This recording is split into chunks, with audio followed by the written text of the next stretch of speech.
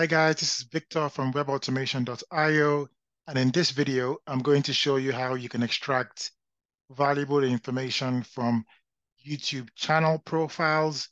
So information like the description, uh, social links, and all the channel details. And so this would be a good way of building up a good list uh, for different creators and brands. And we're going to do this using webautomation.io, uh, which is a no-code web scraper. So all this should be done in a few minutes without writing any code or downloading any software. So the first thing you need to do is sign up for webautomation.io. I'll put the link in description. Once you have signed up, go into the dashboard, and then you can head over to the marketplace. The marketplace has hundreds of pre-built web scrapers.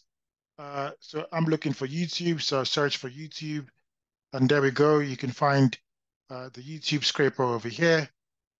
Uh, you activate a new one, and once you've activated a new one, uh, then you can start the process.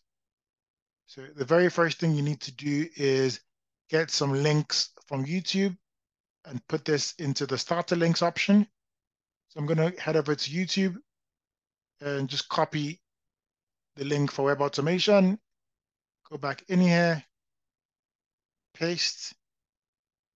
Uh, you can get as many links as you want. So I'm going to get another link, copy, come back in here, paste.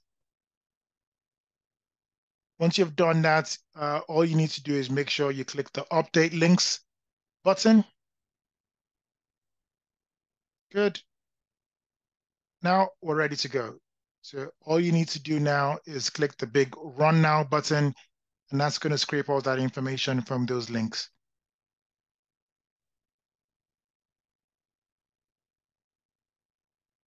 So Scraper is running uh, in a few seconds. You're going to get the data, and then we can have a look and see what the data looks like.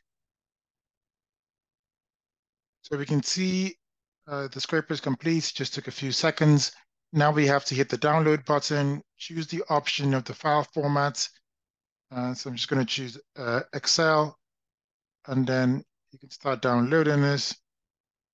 And then let's have a look and see what the data looks like.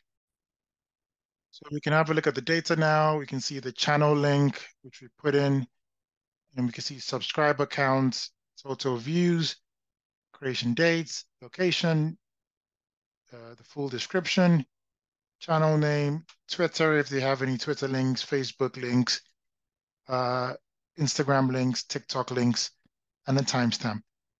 So I've shown you very quickly in a few minutes how you can extract channel profile information from YouTube in just a few seconds using Web Automation's pre-built extractors. Let me know if you guys have any questions in the comments.